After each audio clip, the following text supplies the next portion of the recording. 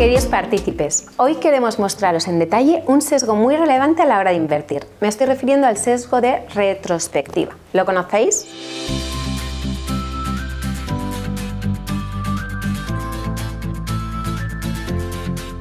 ¿Quién de nosotros no ha dicho alguna vez eso de, te lo dije, se veía venir?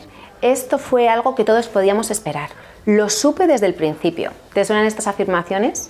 Pues bien, todas corresponden a este sesgo. Pero ¿por qué en ocasiones caemos en manos de este sesgo?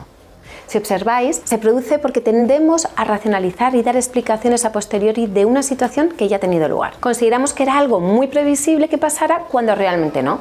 No era tan certero en el momento del suceso. Otra de las explicaciones de este sesgo está relacionada con la creencia de que la situación era inevitable. Por ejemplo, la caída de esa acción tenía que ocurrir. Otro de los ejemplos más recientes en los que poder observar este sesgo ha sido durante la pandemia del COVID-19, donde nos resultaba inexplicable la situación mientras sucedía y meses más tarde el proceso cognitivo nos hace racionalizar y dar una explicación lógica o de convencimiento sobre que dicho suceso se veía venir y que además teníamos la capacidad de predecirlo. Es exactamente lo mismo que sucedió en 2008 con la burbuja inmobiliaria. ¿Lo recordáis? No sorprendáis, es muy común.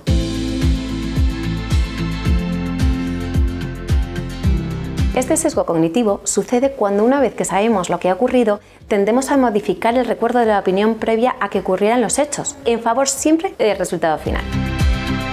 Está estrechamente relacionado con el proceso de memoria, cuando las personas, una vez que conocen el resultado final, modifican su recuerdo al pensar que siempre supieron lo que iba a ocurrir. Esto se observa fácilmente cuando, por ejemplo, se registran predicciones de individuos y luego el resultado es que objetivamente nadie había acertado el resultado antes de conocerlo.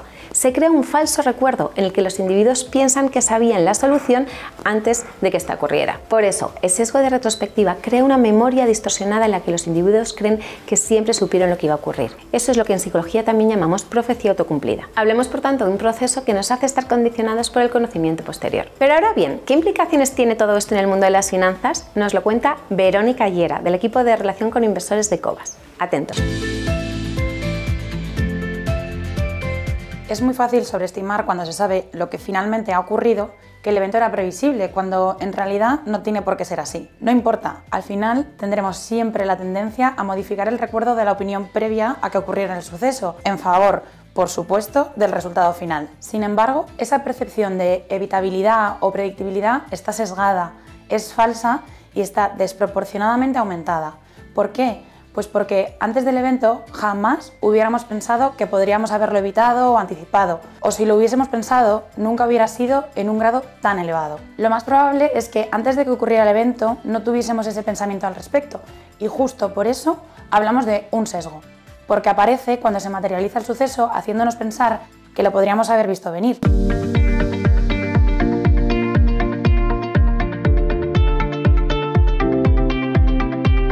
No solo se trata de un problema de distorsión de nuestra memoria, sino que el sesgo retrospectivo también puede afectar al futuro, pues puede alimentar una confianza fundamentada en hechos distorsionados. Por lo tanto, el inversor puede pensar que tiene mayor capacidad de control de la que en realidad tiene. Los inversores deben tener cuidado al evaluar cómo los eventos pasados afectan al mercado actual, especialmente al considerar su propia capacidad de predecir cómo los eventos actuales podrán afectar sobre sus rentabilidades futuras. Es decir, mucho cuidado porque este sesgo nos puede impedir aprender de nuestros errores.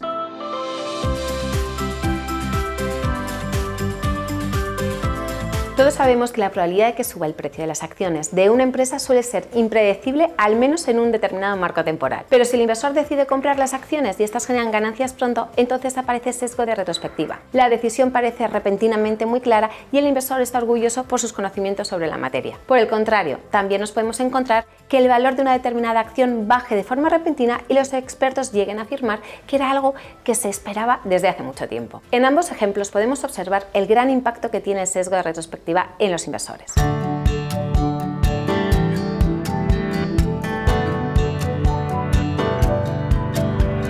Este sesgo lo hemos podido ver muy presente en algunas ocasiones con la inversión en empresas cíclicas, y es que el error más grave que podemos sufrir con el ciclo es intentar predecir el momento justo del cambio, una pretensión inútil que supone una importante pérdida de tiempo. A posteriori, muchos podrán pensar que habrían sido capaces de anticipar que era el momento de entrada y que la recuperación del sector era obvia. Pero la realidad es que empezar a comprar compañías de un determinado sector en el punto más bajo del ciclo es utópico. Debemos centrar nuestros esfuerzos en soportar estoicamente las caídas, pues obviamente nunca empezaremos a comprar en el punto más bajo del ciclo, siempre lo haremos antes. La clave es continuar comprando durante toda la caída, pues los mejores resultados se obtienen con las últimas inversiones y si nuestro análisis es correcto, el tiempo nos dará la razón. Por lo tanto, lo importante será no perder el rumbo y no pretender anticipar el comportamiento de los mercados a corto plazo, sino la evolución a largo de los activos que nos interesan. Ahora bien, la pregunta que podemos hacernos es, ¿cómo combatirlo?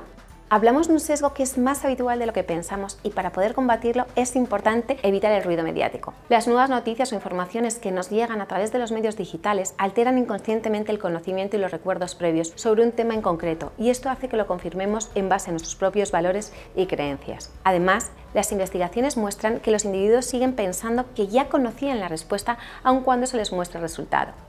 La única manera encontrada para reducir este sesgo es haciéndoles decir todas las posibles hipótesis que consideran correctas. De esta forma, se induce a que el individuo dude de todas las posibilidades que no ha acertado. Esto nos ayudará no a eliminarlo, pero sí a reducirlo.